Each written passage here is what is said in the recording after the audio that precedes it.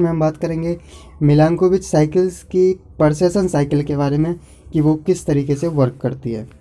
तो with starting our first question I bought a T shirt at ten percent discount and sold it to a friend at loss of another ten percent if friend paid me seven twenty nine rupees for the shirt what was the undiscounted price of the shirt now it is asking the undiscounted price let us consider that the undiscounted price is X so now at which i am i am uh, getting it at 10% discount. So just multiplied by 90 divided by 100 so this is the price on which i have bought the t-shirt.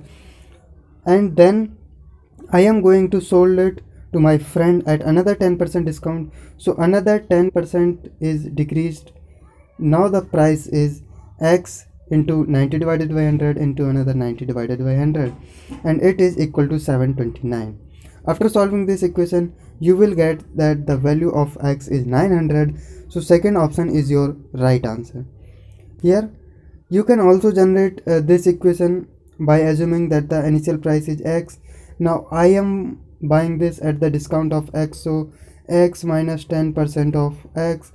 So finally you will get that this is nothing but just multiplying by 90 divided by 100 for every 10% discount. Okay so now the second question is if angle of axial tilt is doubled then one of the following possibility is unlikely. Unlikely means that is false. Okay so options are length of summer and winter days and night will increase greatly. Extreme temperature difference would occur from winter to summer. This would cause well-defined climatic zones. In December, more of the northern hemisphere would have 24 hours of darkness. Okay, so here option number 3 is your right, but how? First option, at this time we have inclination of 23 degree. Now we are increasing its doubled, so it will be something like this. At the same time, in the whole journey of Earth uh, in their orbit the axial tilt is increased. Okay so now it is more. And hence the sun's vertical radiation is reaching towards a, a specific area for a long time. Because of this axial tilt length of summer and winter days and night will definitely increase. And second option extreme temperature difference occurs. Yes always occurs. Why? Because we are reaching towards a considerable height now uh, assume one thing. If axial tilt is nothing zero degree okay then what will happen? Sun's vertical radiation is always at the equator and temperature is same all over the year. If we increases the tiltation it will increase the reach of these vertical sun rays towards the poles. At this time tiltation is 23 and half and reach of these vertical radiation is uh, up to that 23 and half north and south. So as we are increasing more and more tiltation the reach of sun's vertical radiation will increase towards the poles and hence it will create the more temperature difference. Okay? So second option is also correct.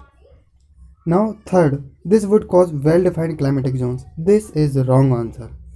This uh, it will cannot cause the well-defined climatic zones because the temperature is variable as you all already see here extreme temperature differences are there. So they cannot define the well climatic zones. So here option number three is your right answer that this cannot be happened after the tiltation is doubled. At the fourth option in december more of the northern hemisphere would have 24 hours of darkness. Yes it is also correct. Because we are getting here what? More of the uh, radiation is in the southern hemisphere. Okay. So now the next question is question number three. Oolite and sedimentary rocks are usually spherical in shape with a concentric internal structure in a deformed oolitic the shape will be. Now for every circular whatever uh, circular or, or spherical object what you have just one second. Yes. So this is your light. If you are deforming it what you will do? Either you will use the compressive forces or you will use the extensive forces or you will use the shearing forces. So if you use the compressive forces like this then you will find that this light becomes something like this.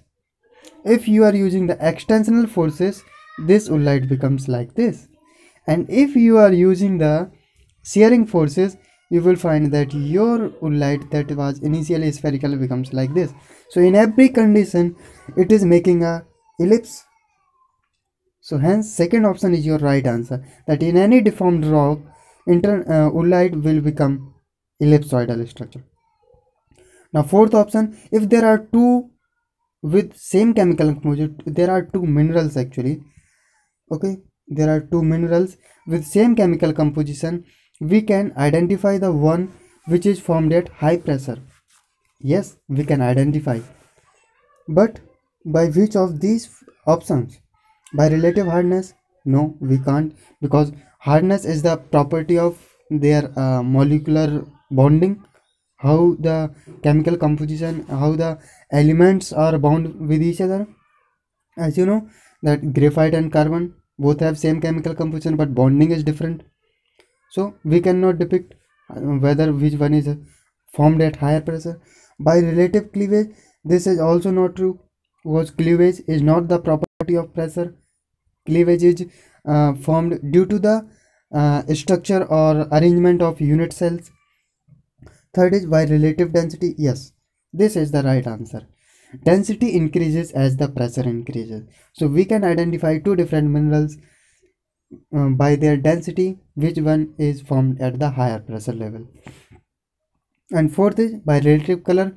As you know that color is not a diagnostic property. So fourth option is also wrong. Here third is the right, right answer